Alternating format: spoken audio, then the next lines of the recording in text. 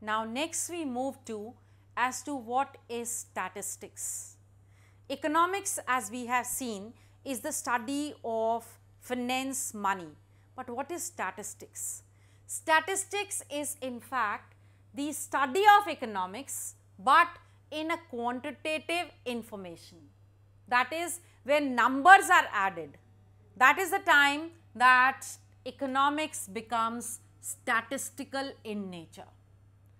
When we talk of statistics, when we talk of it in a singular sense, it means the collection of data, the classification of data and the usage of it.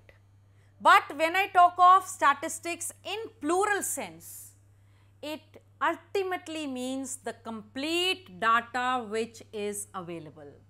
This is in fact seeming to be the primary stage of statistics and this is the secondary stage of statistics. While we are collecting information, while we are putting them, while we are presenting them, that is the time we talk of statistics in singular sense. But when we have come to the final conclusion, when the results have been drawn, that is the time it is statistics in plural sense. Well, the most important is that in statistics we talk in terms of quantity. For example, I say 20 percent of the Indians are unemployed. So, I am using the quantity 20 percent that is in numbers in figures. When I am talking of economics in approach of quantity number that is the time we talk of statistics. Now, let us talk of the stages involved in making of statistical data.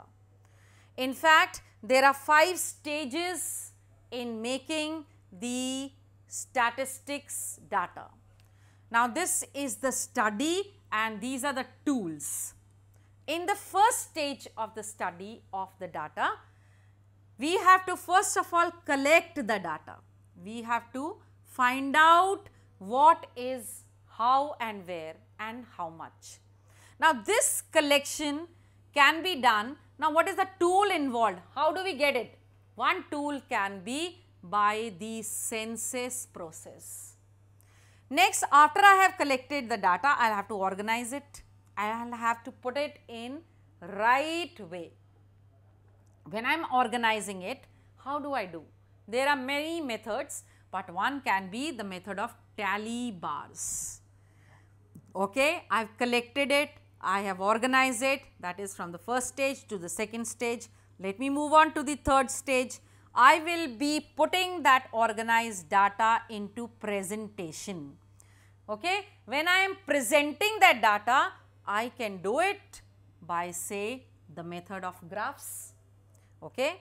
I have collected, I have organized, I have presented also, but now is left the process of analysis, the process of knowing what it is. When I am analyzing it, I will be analyzing since it is statistics in quantity. So, I will be doing it in the form of percentage or in the form of averages. Okay. After I have analyzed, I am going to interpret that data. I am going to tell this is my interpretation, this is what I have found out. So, interpretation is in fact the tool can be the magnitude of the economic variables, the relationship between the economic variables. So, just remember that in the making of the statistical data, I am collecting, organizing, presenting, analyzing and then interpreting and the tools can be the census, the tally bars, the graphs, the percentage and the magnitude. When I talk of the magnitude of the economic variables, this we shall be doing in details later on, but simply here it means what is their interrelationship of the economic variables that is the things which generate money for the people.